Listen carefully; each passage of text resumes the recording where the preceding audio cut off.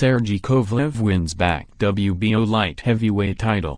Sergey Kovalev took back the WBO light heavyweight championship from Eleider Alvarez on Sunday, winning the rematch in a unanimous decision six months after losing his belt.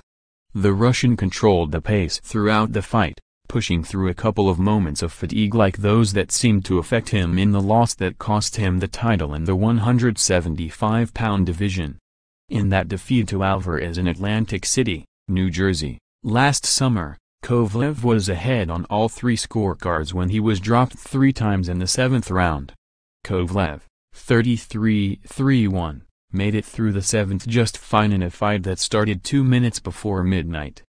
The 35-year-old put on the finishing touches by landing several blows in an impressive 12th round to leave little doubt that Alvarez, 24-1, was headed for his first loss. Two judges had Kovalev ahead 116-112. The third judge didn't give Alvarez a single round, scoring it 120-108. The dominant win reversed a recent slide by Kovalev, who had all three of his losses in the previous five fights. He was the aggressor from the beginning and eventually landed 213 of 860 punches compared to 111 out of 369 for Alvarez. According to the television broadcast, Alvarez's corner told him going into the 10th round that he would need a knockout to keep the belt. He never got close. Kovalev even had an exclamation point, landing a punishing right hand just before the final bell.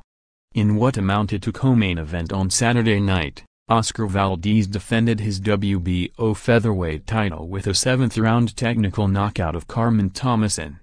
The two-time Mexican Olympian caught Thomason with a right uppercut to the jaw.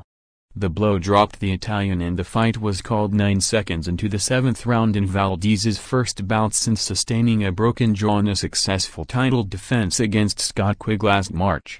Valdez, 25-0, 20 KOs controlled the 28-year-old's fifth title defense in the 126-pound division almost from the start at the 12,000-seat indoor football stadium that's part of team headquarters for the Dallas Cowboys. Tommasone, 19-1, went down twice in the fourth round, and his right eye swelled badly late in the sixth.